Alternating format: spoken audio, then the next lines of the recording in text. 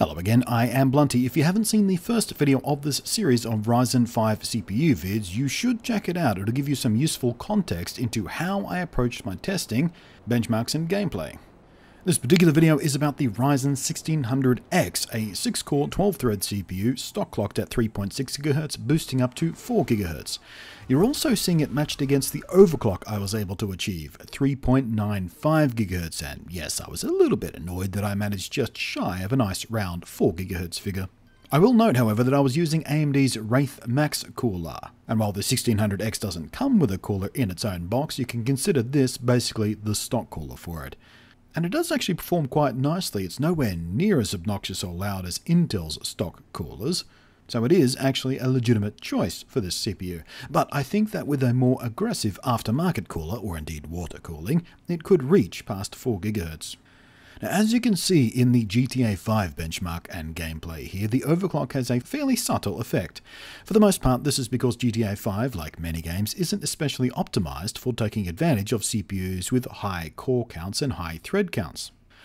What does take advantage of this aspect of Ryzen architecture though is things like video encoding and other CPU intensive tasks as shown by the Geekbench mixed CPU load benchmark and the Cinebench CPU test, both showing quite a noticeable improvement in the score for the overclock. The ashes of the Singularity CPU loaded benchmark in DX12 mode showed a small but consistent push forward in the final score. Rise of the Tomb Raider, also in DX12 mode, also sucked out a small stack of extra frames per second. Interestingly, in Mafia 3 there was almost no difference at all, and clearly a bottleneck rests elsewhere for this game. You can also see by the CPU usage numbers that this game too is not optimized to take full advantage of all the extra overhead this 12-thread CPU can offer it. And of course, it's a similar story for the CPU-intensive Watch Dogs 2. The overclock pulls out some advantage here and there, but on the whole, it's not the advantage you'd hope for, at least yet. But as new games come out and some existing popular games might get patched, we can and should expect to actually see significant performance gains on Ryzen.